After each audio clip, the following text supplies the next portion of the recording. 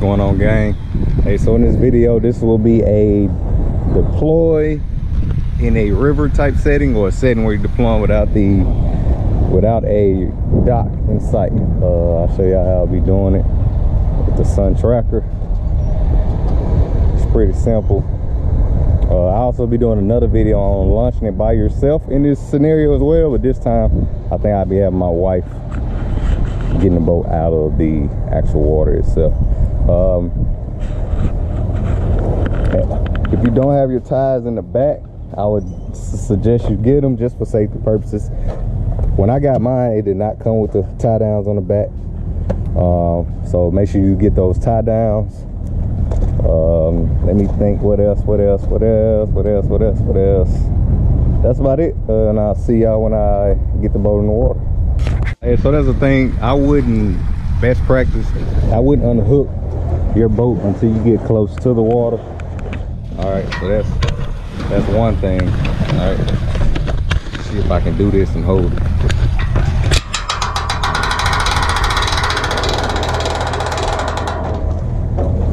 Wait till you get close to your actual water because i have seen instances where the the boat falls off. All right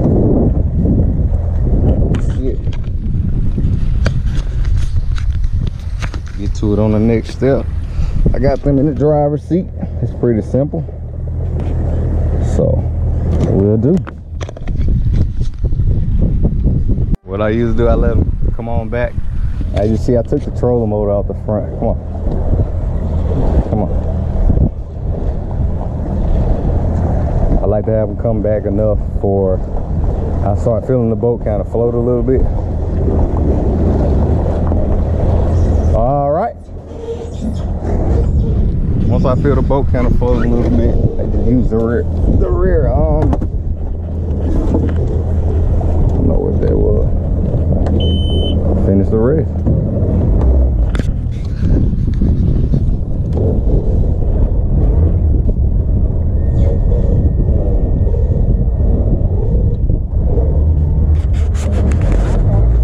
That's it. That's it. It's so simple to launch this boat. All right, it's real simple. Next video, I definitely make sure I uh, do one with launching it solo.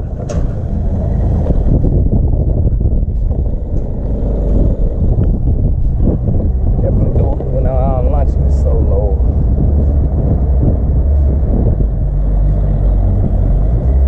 And remember, when you're pulling up to the dock, we'll always be putting our boat against the dock on the opposite side that we'll be riding in because that's where the door is at. To make it easier for younger people and older people. All right, so I'll make a little bit more tips on coming back in when we're docking it. So see y'all then. Right, now I'm in the truck, bagging the back trailer up. Let me see if I can show y'all. You really want to bag it up enough where you still got some of your trailer exposed. You don't want to have too much coming, too much into the water. It's about right there. So when I say you want to leave some of your trailer exposed, you want to have some of it exposed. You don't want to put the whole thing in the water. And uh, I'll show y'all how I put it on.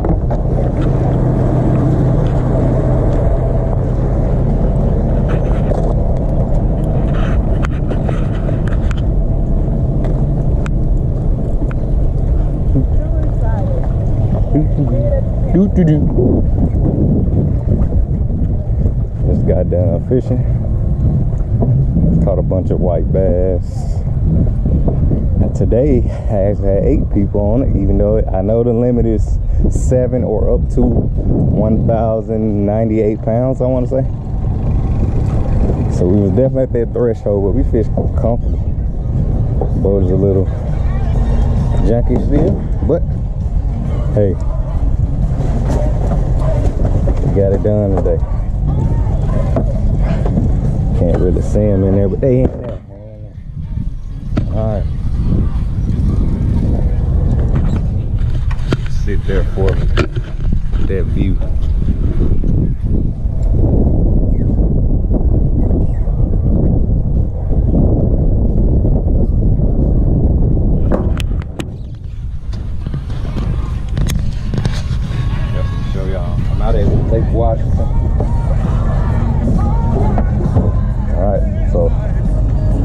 This will be a setting. It, the wind is pretty high today.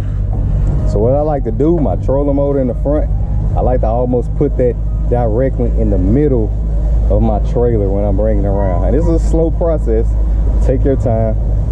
The pontoon is a little bit different when you are putting it on. But this way has been pretty good with me as far as how I've been docking it. Putting it back on. Uh, as long as I got some of my trailer exposed to help guide it, I've been good to go. So, like I said, leave some of your trailer exposed out of the water. Take your time when you're going towards it and kind of use the center of your trolling motor in the front to kind of guide you center mass of your trailer all right so we're gonna try to get center mass of the trailer with the trolling motor it's almost I ain't gonna say dummy proof but hey that's what you want to say that's what you want to say but I mean it's been working for me. So we're gonna do center mass center mass center mass boom we on. Use it use engine in the back boom and we on. Come to the front of your boat. All we're gonna do go clip it on.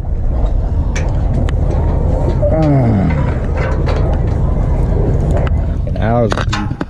Underneath where is it? Boom. Put your safety one on.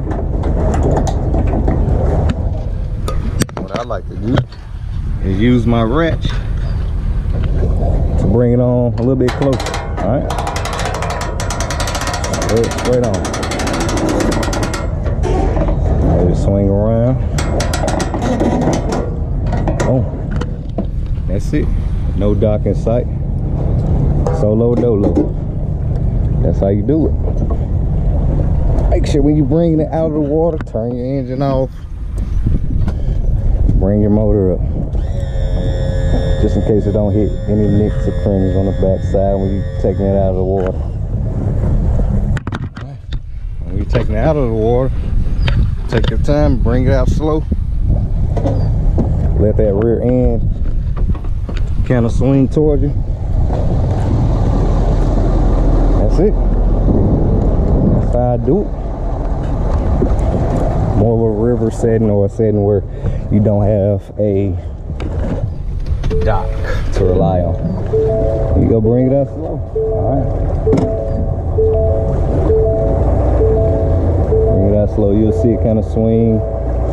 Boom. See how it swung? There we go. And that's it you